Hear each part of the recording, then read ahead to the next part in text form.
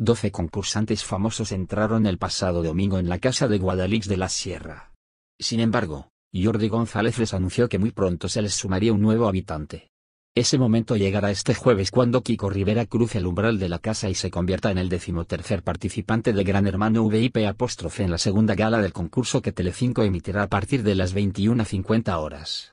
Además, los habitantes tendrán que someterse a las primeras nominaciones, en las que cada uno de ellos tendrá que elegir a un miembro de su grupo, señores o criados, y a otro miembro del equipo contrario. A lo largo de la noche se producirá también un cambio de roles en la prueba iniciada el domingo, los señores pasarán a ser criados y viceversa, aunque este cambio no afectará a todos los habitantes de la casa. El programa ofrecerá un amplio resumen de las primeras jornadas de convivencia, que será analizado por Jordi González y los familiares y amigos de los actuales concursantes.